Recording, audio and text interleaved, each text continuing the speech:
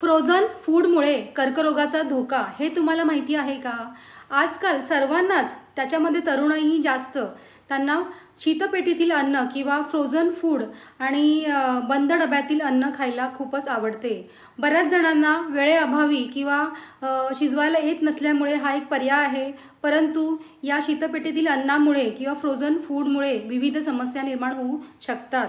यामध्ये ट्रान्सफॅट असल्यामुळे हृदयविकाराचा झटकासुद्धा येऊ शकतो. याशिवाय हे फ्रोझन फूड ताजं ठेवण्यासाठी त्याच्यामध्ये स्टार्च वापरतात आणि स्टार्चमुळे त्याला गोडवा येतो आणि त्याला चवसुद्धा वाढते. परंतु हे लक्षात ठेवा अशा पदार्थाने तुमचं डायबिटीस वाढतं. या फ्रोझन फूडमध्ये ट्रान्स फॅटचे प्रमाण जास्त असल्यामुळे रक्तवाहिन्यांमध्ये गुठळ्या होण्याची शक्यतासुद्धा जास्त असते. अमेरिकेपासून भारतापर्यंत आजकाल सर्वांनाच फ्रोझन फूड खायला फारच आवडते.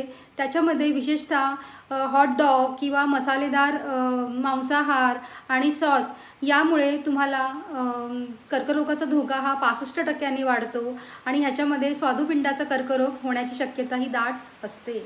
या फ्रोझन फूडमध्ये सोडियमचे प्रमाण हे जास्त असते आणि त्यामुळे शरीरामध्ये विविध समस्या निर्माण होऊ शकतात. तेव्हा मित्रमैत्रिणींनो ताज्या अन्नाच्या तुलनेत हे शीतपेटीतील अन्न हे अपायकारक आहे. त्याच्यामुळे जितकं टाळता येईल तितकं टाळण्याचा प्रयत्न करा.